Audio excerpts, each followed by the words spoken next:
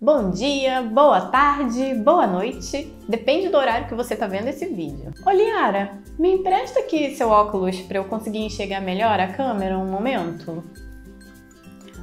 Pronto, bem melhor. Ainda bem que inventaram o óculos, né? O mesmo seria não precisar usar nada, nem óculos. Ué, mas hoje em dia já podemos. Graças a Patrícia Era Bat, a medicina avançou bastante e ajudou milhares de pessoas a enxergarem melhor. Ficou curioso? Continua aqui comigo para descobrir mais sobre ela. Pega a pipoca e prepara, que hoje vamos aprender sobre história e medicina.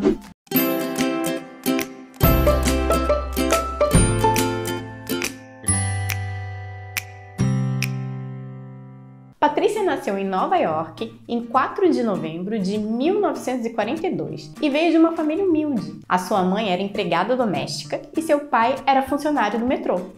Durante a sua juventude, Bart se destacou na escola e conseguiu uma bolsa para a faculdade de medicina. Durante a graduação, venceu um prêmio como aluno de destaque na área de oftalmologia. Já perceberam que ela sabia exatamente o que ela queria, né? Patrícia foi inclusive a primeira mulher negra a entrar na residência em oftalmologia na Universidade de Nova York. Depois de períodos trabalhando em hospitais diferentes, Patrícia percebeu que a população negra sofria mais com problemas de visão do que a população branca, por não existir nenhum programa social que atendesse aquelas pessoas. Então, ela mesma botou a mão na massa e deu início ao programa Oftalmologia Comunitária, que viria a se tornar referência mundial no tratamento oftalmológico. Sua maior colaboração para a medicina veio alguns anos depois, em 1981, quando Patrícia criou o Laser Phaco Pro, um dispositivo que conseguia remover a catarata, uma das doenças responsáveis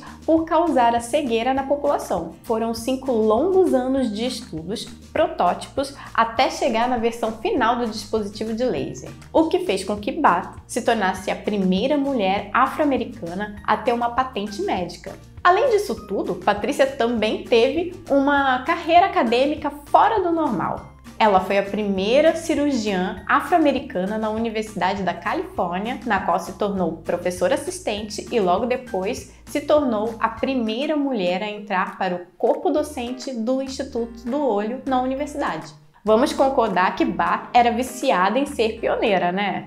E tem mais. Antes de criar o famoso Laser Phaco Probe, ela criou em 1976 o Instituto Americano para a Prevenção da Cegueira, que tinha como intuito promover programas que impedissem o avanço de doenças que poderiam causar a cegueira. O instituto era sem fins lucrativos, faziam exames e cirurgias e até promoviam vacinação em massa, como a do sarampo. Patrícia foi homenageada em duas das universidades que ela participou. Ganhou um Hall da Fama na Hunter College e a Universidade de Howard a nomeou como pioneira na Universidade de Medicina Acadêmica. Óbvio, né? Não tinha outro nome melhor para essa cientista. Patrícia Era Bach veio para provar que lugar de mulher é sim onde ela quiser, seja na medicina, na carreira acadêmica, seja ajudando pessoas ou inventando máquinas novas. E assim como a trajetória de Bach, a nossa história está cheia de mulheres incríveis e super inteligentes que ajudaram a revolucionar a ciência.